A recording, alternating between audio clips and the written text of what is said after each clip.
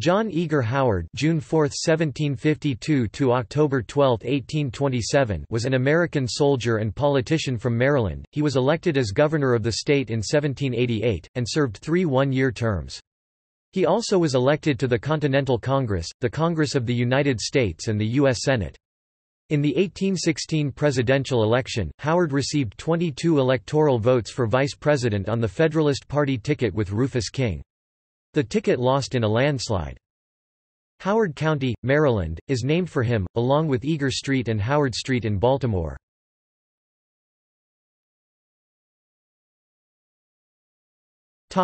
Early life and education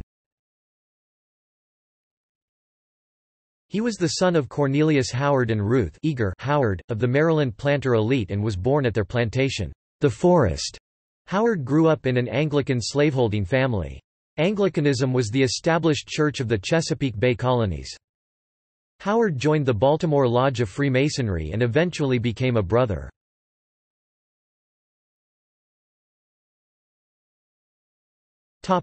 Military career Commissioned a captain at the beginning of the American Revolutionary War 1775 Howard rose in 1777 to the rank of colonel in the Maryland line of the Continental Army, fighting in the Battle of White Plains in New York State in 1776 and in the Battle of Monmouth in New Jersey in 1778. He was awarded a silver medal by the Confederation Congress for his leadership at the 1781 Battle of Cowpens in South Carolina, during which he commanded the 2nd Maryland Regiment, Continental Army. In September 1781, he was wounded in a bayonet charge at the Battle of Eutaw Springs in South Carolina. Southern Army Commander Maj. General Nathanael Greene wrote that Howard was as good an officer as the world affords. He has great ability and the best disposition to promote the service, he deserves a statue of gold.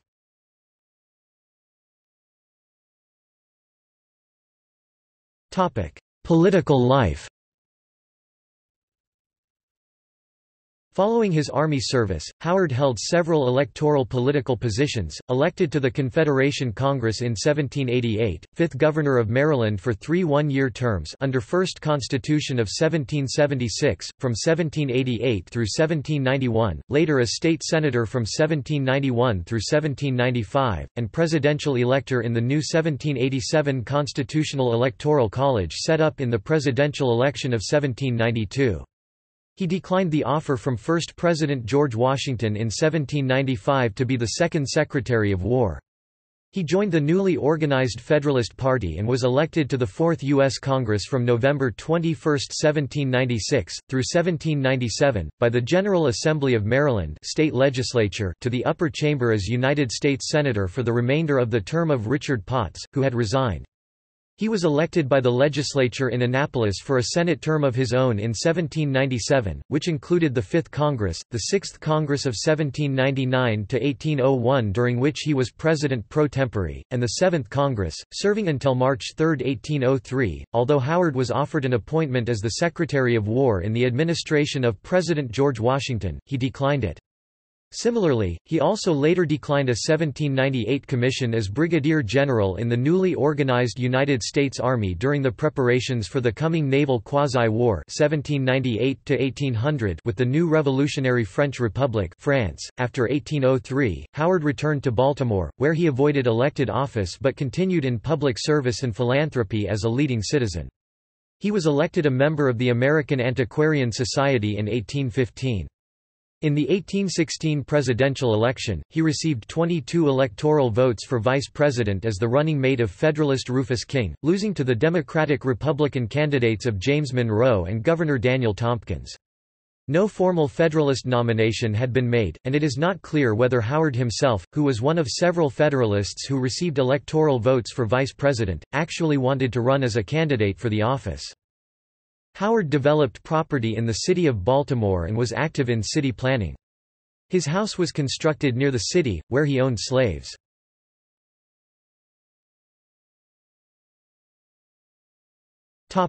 Marriage and family John Eager Howard married Margaret Peggy Chew (1760–1824), daughter of the Pennsylvania Justice Benjamin Chew, in 1787. John Eager Howard, Jr. (1788–1822), M.1820 Cornelia Read, daughter of U.S. Senator Jacob Read, S.C., Maryland State Senator, died in Mercersburg, PA, October 1822. George Howard, 1789–1846 M.1811 Prudence Ridgely Doe, of Governor Charles Carnan Ridgely. George was born while Col. Howard was governor in Jennings House and became governor in 1831. His home, Waverly, at Marriottsville, Maryland still exists. Benjamin Chew Howard (1791–1872) M.1818 Jane Gilmor. He was elected for four terms in the U.S. Congress and was the reporter of decisions of the Supreme Court of the United States 1843–1861.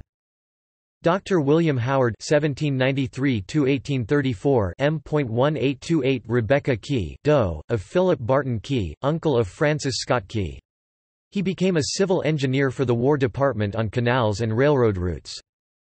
Juliana Howard McHenry (1796–1821) M.1819 John McHenry died in Mercersburg, PA, October 1822, son of Dr. James McHenry, Secretary of War.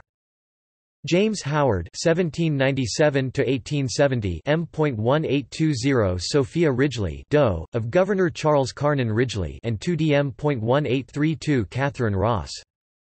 Sophia Howard Read (1800–1880) M.1825 William George Read, son of U.S. Senator Jacob Read, S.C. Charles Howard (1802–1869) M.1825 Elizabeth Key, Doe, of Francis Scott Key. Charles and his son, Francis Key Howard, were imprisoned in Fort McHenry at the start of the American Civil War. Mary, February to May 1806. Topic: Death and legacy. John Eager Howard died in 1827.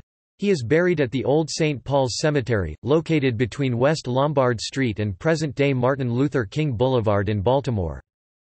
Howard County, Maryland, formed out of western Anne Arundel County and southeastern Frederick County in 1839 as the Howard District and officially as Howard County in 1851, was named for him. In 1904, the city commissioned an equestrian statue of Howard by the eminent French sculptor Emmanuel Fremiet and installed it at Washington Monument Circle facing north from the North Park of the Circle up North Charles Street, Baltimore. Howard is one of several notable men of Maryland mentioned in the state song, "'Maryland, My Maryland' written in 1861 by James Ryder Randall. The phrase, "'Howard's warlike thrust' refers to him. Three streets in Baltimore share his name, the diagonal running John Street in the Bolton Hill area, the east-west running Eager Street, and the north-south running Howard Street.